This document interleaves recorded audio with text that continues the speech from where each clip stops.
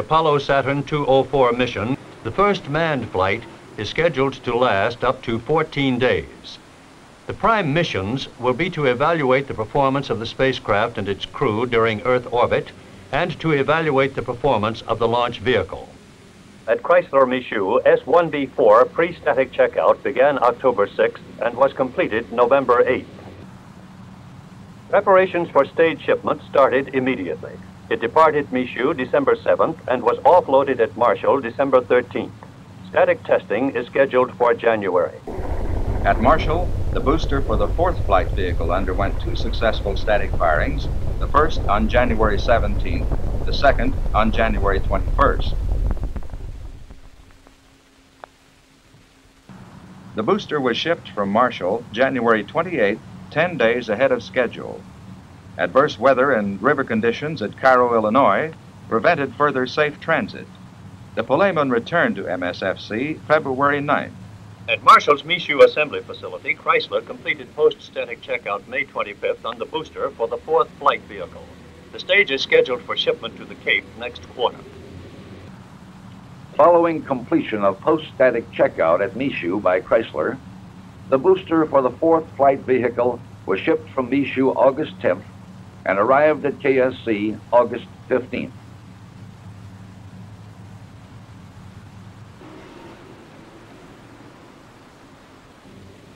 S4B-204 systems in-plant checkout was completed December 17th.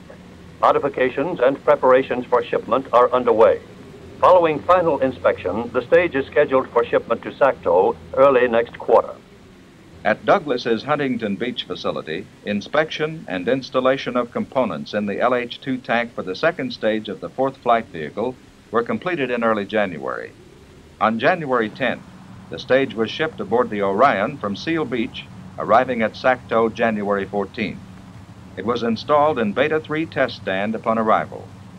Following receiving inspection and modification and installation of late parts, pre-static checks began January 24th.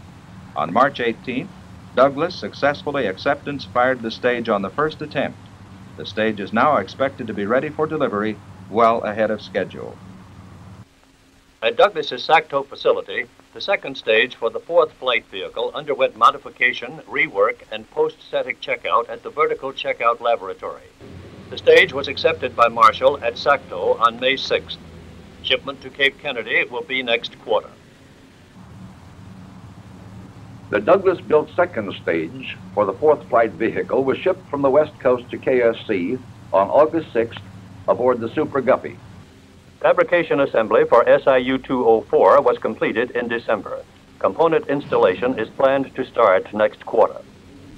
Component installation in the fourth flight instrument unit continued throughout the period, with completion planned for next quarter. At IBM Huntsville, component installation in the fourth flight instrument unit started last period was completed the first week in May.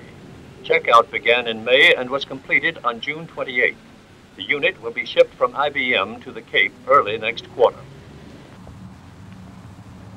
The instrument unit, assembled and tested by IBM for the fourth flight vehicle, arrived at KSC August 16th aboard the Super Guppy.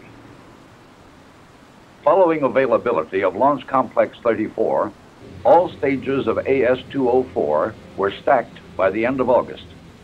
Pre-flight checkout is underway. At the end of September, the launch vehicle had been erected on the launch pad and was undergoing pre-flight checkout. The spacecraft was undergoing checkout at the Kennedy Space Center's industrial area. The flight crew, including Virgil Grissom, Edward White, and Roger Chaffee, was in final training.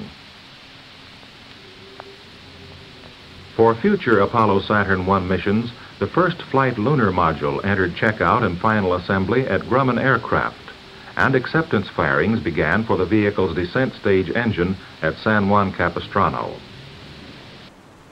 Launch of the first manned uprated Saturn I spacecraft was rescheduled for next quarter because of spacecraft problems. Checkout of Saturn 204 was satisfactory, except for one booster engine which was replaced due to a turbo pump problem.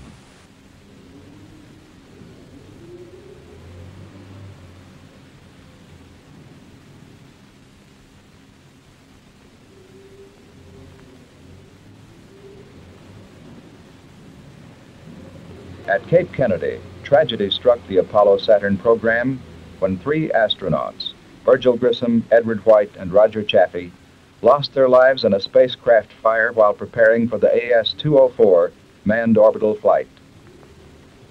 Although the January 27th fire destroyed the spacecraft, shown here being removed for detailed examination, the launch vehicle was undamaged. The review board, appointed immediately after the incident, determined that the fire was probably caused by an electrical arc.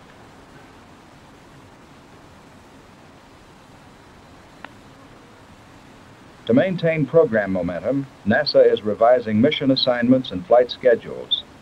Marshall Management is responding to these changes and will provide flight-ready launch vehicles as required to support the new mission plans. Saturn 204 will now launch an unmanned lunar module into Earth orbit for tests and checkout this fall. The changes required to the vehicle and ground support equipment, although extensive for the available time, are well underway and will be completed as scheduled. In conjunction with the new mission, the vehicle is shown being moved in late March from KSC's Launch Complex 34 to Launch Complex 37, which is equipped for lunar module launches. Saturn 204 was selected for the next mission in order to take early advantage of the last fully instrumented R&D vehicle. Saturn 205, 206, and 207 will be launched in that order.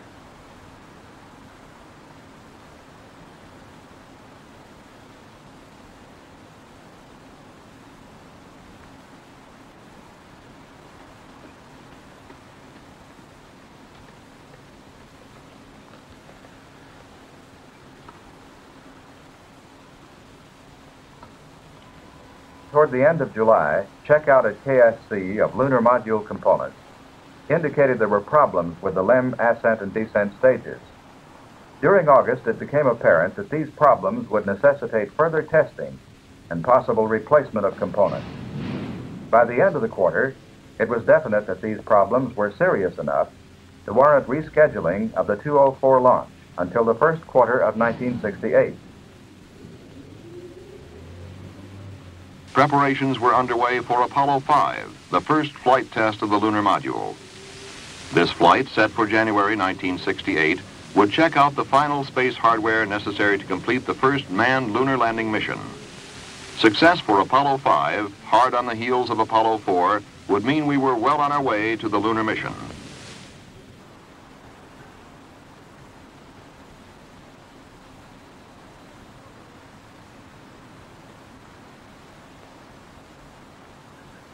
Now the lunar module, dubbed LM-1, sits in its protective technological cocoon atop the tested and proven Saturn 1B launch vehicle, waiting for the boost into the environment for which it was designed, space.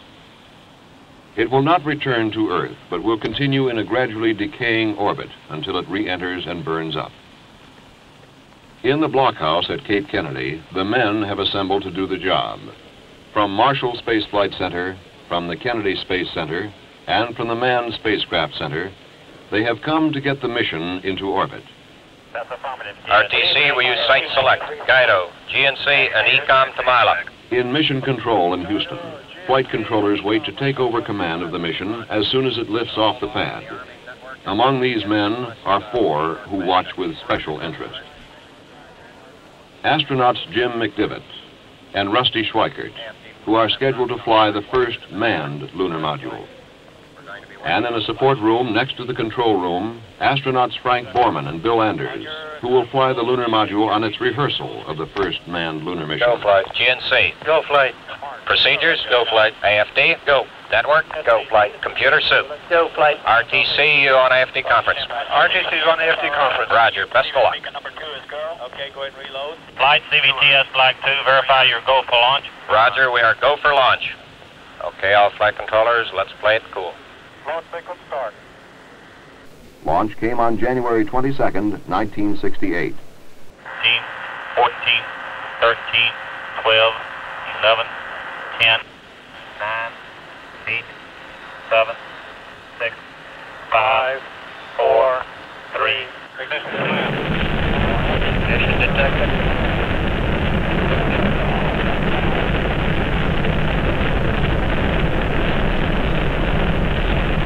Transmit, 5 enter. Climb start, 5 enter. Thrust okay. Affirmative. Program 11. Okay, TLK, P11. Roll pitch start. Rolling pitch. Go on IP. Go IP. 1,200 telemetry measurements indicated that the Saturn 1B performance was the best ever.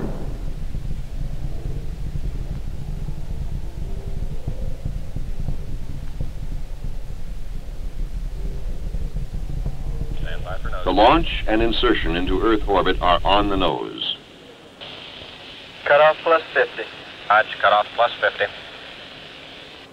The aerodynamic shroud is jettisoned. Roger, nose cap jet. Now, the next critical step the opening of the protective metallic petals and the separation of Lunar Module 1 from its cocoon. RTC booster, transmitting slot deploy. Roger. We are transmitting slot deploy. Okay, all flight controllers, we have slot deploy A and B relay indications, no physical monitor indication. Everything is nominal. We get a go for separation. On schedule, the reaction control engines of Lunar Module 1 pull it free of its protective cocoon.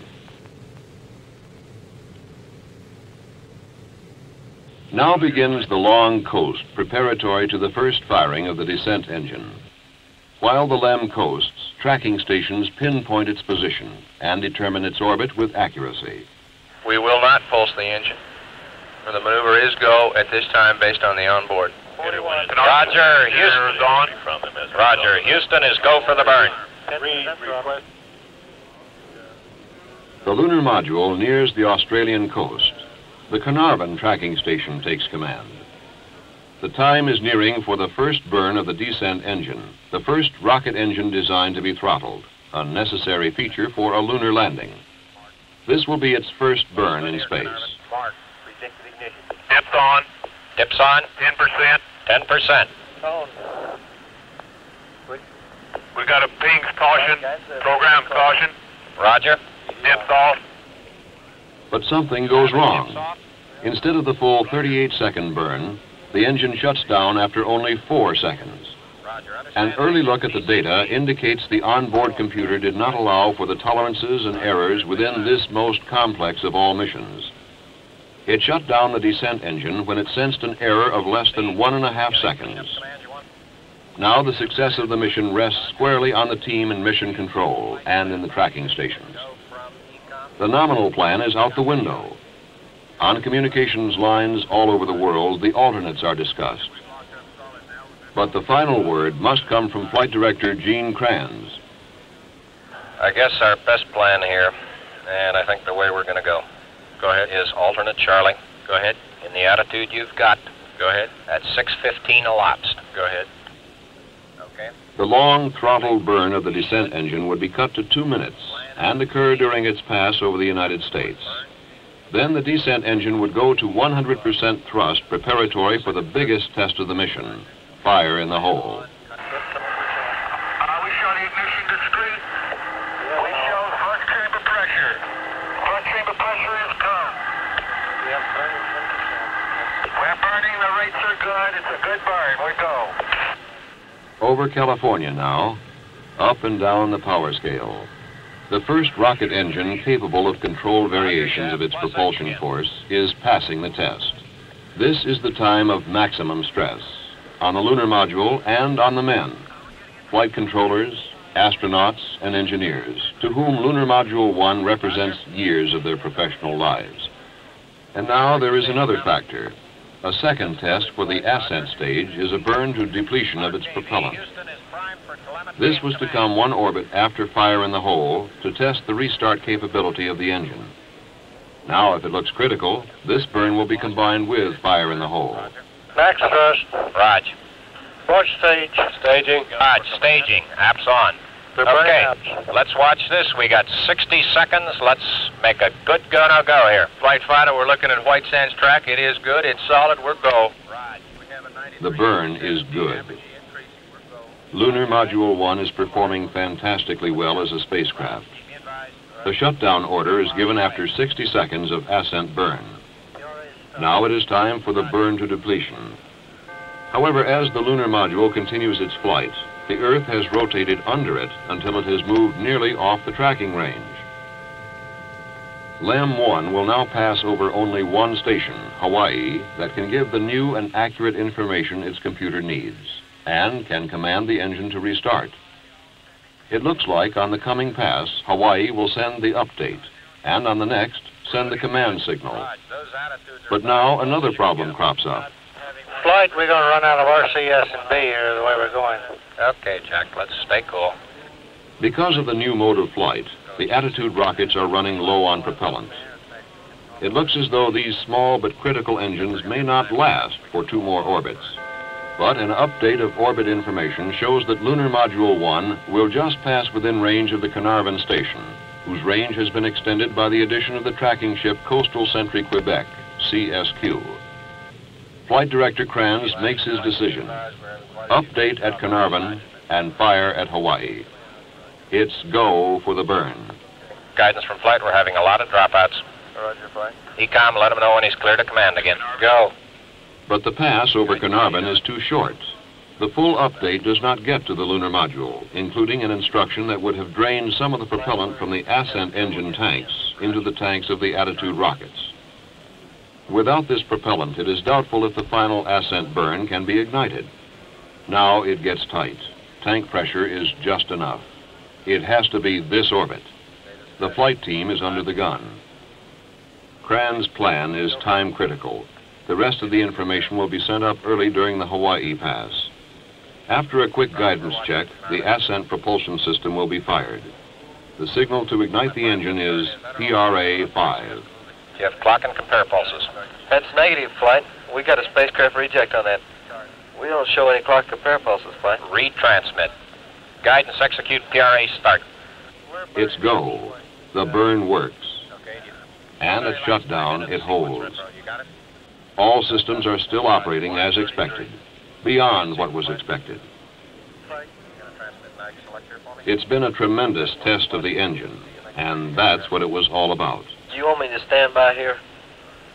Negative, you've done it all, and good work, Gary. Beautiful job. Throughout the flight of Apollo 5, the lunar module had performed magnificently. All systems operated either as predicted or far exceeded the predictions. The purpose of the Apollo 5 mission was to initiate the series of flight tests that will ultimately qualify the lunar module for its part in the lunar landing mission. The important uh, features of the mission were operation of the descent propulsion system, and specifically it was started, stopped, throttled twice, and during the last burn of the des descent propulsion system, the ascent propulsion engine was fired to stage the upper stage of the lunar module away from the descent stage, simulating an abort uh, commanded by an astronaut uh, uh, approaching the lunar surface. Then the ascent engine was burned twice, the first time for about one minute, and the second time for a total of six and a half minutes. The objectives of the mission uh, were achieved and it was very successful uh, and fulfilled its part in the series of missions that constitute uh, the steps in getting to the moon.